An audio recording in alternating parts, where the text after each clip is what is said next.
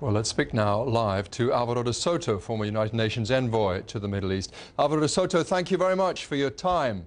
Thank you. Uh, you were, of course, for some time the highest ranking UN official in Israel, and I saw your end of mission report. It was a pretty devastating account of failed diplomacy. What do you make of the current situation in Gaza? Well, first of all, what is shocking is the enormous amount of damage that is being done and uh, also the, the harm to civilians. Uh, as I understand it, there are over 60 civilian casualties and close to 400 uh, casualties uh, overall, which means a rather high percentage. Uh, and uh, the precision targeting that we hear about, it doesn't seem to be terribly accurate. That's on the one hand. On the other, it seems to me that we are living through a very familiar pattern which is not going to lead to the desired uh, result, and that uh, perhaps uh, a step sh- back should be taken in order to think somewhat more strategically. Uh, uh Hamas is uh, n- not going to be broken, certainly not by a, a pure air assault, and even a ground assault, which would produce, of course, many casualties on both sides, is not likely to produce it either. There is no military solution to this conflict. You have to have an inclusive negotiation. And I think that at least one of the reasons why uh, Hamas uh, uh, continues to fire uh, rockets at uh, uh, Israel is precisely to signal that they too should be uh, dealt with as part of the search for any solution, and that's not being done. That was the uh, error committed by the international community starting in 2005.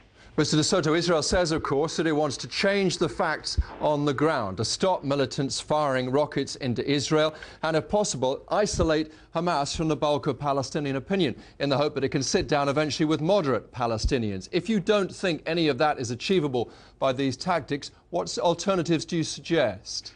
Well, the alternative is to allow the Palestinians to reunify and to define what paradigm it is that they wanted to seek.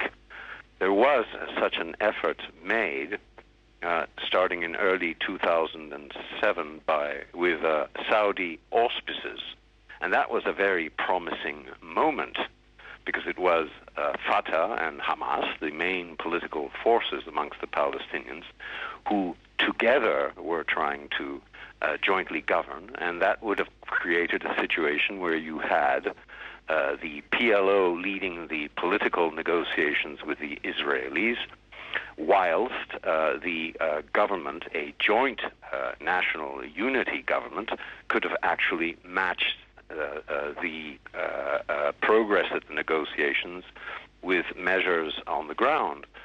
But you needed to have, you need to have a horizon you need the Palestinians uh, to recover faith that a Palestinian state is actually achievable.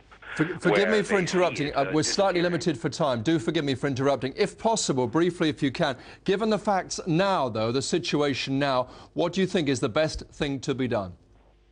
Well, they, they should uh, cease fire. Obviously, both sides should cease fire. That's going to be very, very difficult uh, in the dynamic uh, of the moment. I mean, there is uh, genuine ire on both sides, and I can understand the ire on b- both sides.